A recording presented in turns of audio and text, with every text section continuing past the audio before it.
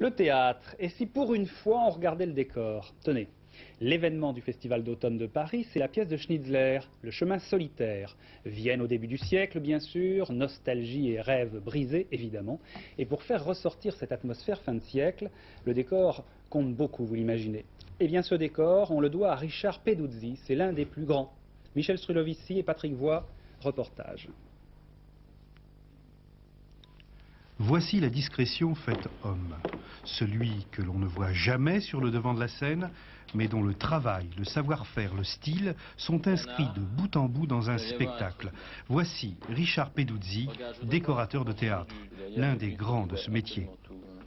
Avec quelques objets et beaucoup d'imagination, il vous crée tout un univers. J'ai toujours envie d'engager cette bataille avec l'espace et avec le vide.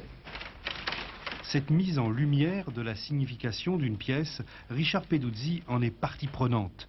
Il ne se contente pas, comme les décorateurs du siècle dernier, d'illustrer simplement l'action. Ce type de décor est terminé, oui, c'est des décors qui datent de la fin du 19e siècle. Mais d'ailleurs, ce type de décor-là, qui date de 1975, c'est aussi terminé. Et parfois, les gens se sont trompés en faisant des décors trop lourds, trop chers, et finalement, quand c'est trop lourd, trop cher, ça se voit et c'est pas bien parce que quand ça se voit trop, on, passe, on est à côté de la plaque. Cette modestie pour être efficace, pour se mettre au service d'un auteur, Richard Peduzzi l'a fait sienne. Une exigence qui l'amène à épurer son travail, à en éliminer le pittoresque, le charmant, le dérisoire, afin de ne troubler en rien ce rapport étrange entre les acteurs et les spectateurs.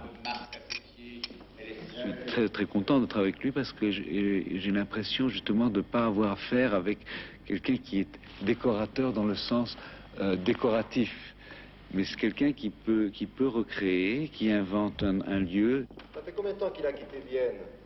Deux ans? Non, un peu plus. Il a beaucoup voyagé.